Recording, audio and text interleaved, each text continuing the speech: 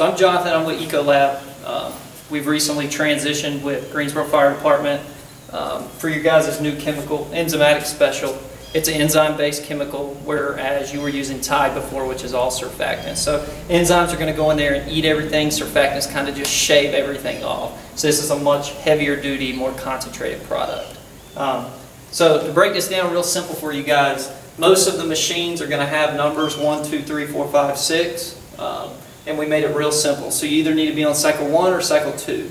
Cycle 1 is for all of your towels or personal. That's going to be washing with hot water. Um, if you wash with your gears, it needs to be on 2.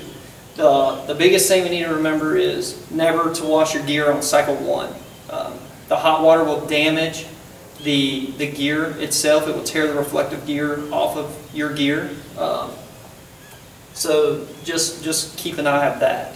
So when, when loading your stuff, put your gear, your towels, everything in here like normal with the door open. And then we're going to close the door.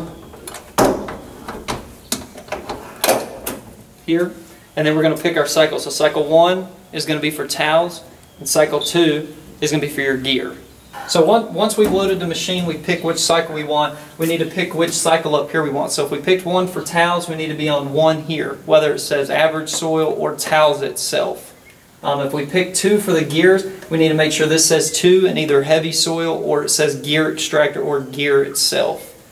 Um, if for some reason the product runs out and the prime is completely out of the line, all we have to do is hit this middle play button two times and it will say prime mode.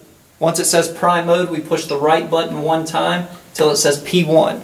Once it says P1, we push the up arrow and we release and it will prime the line for you.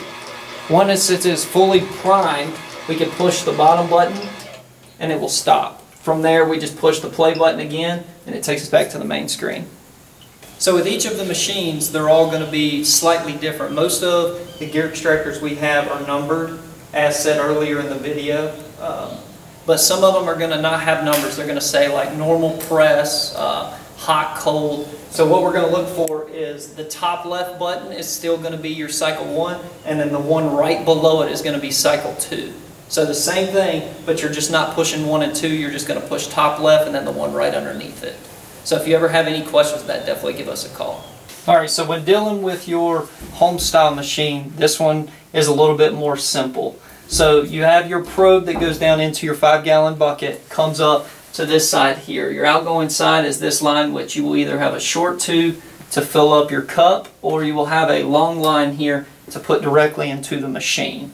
So the only thing that you guys need to do is make sure we hit the green start button and either fill our cup up or put this directly in here until it's fully done dispensing. Uh, a couple of safety things we need to remember is if we're taking this line and putting it inside the machine, once it's done running, make sure that we're taking it out carefully and not allowing it to grab the side of it and flick product into your face or someone else's face or eyes.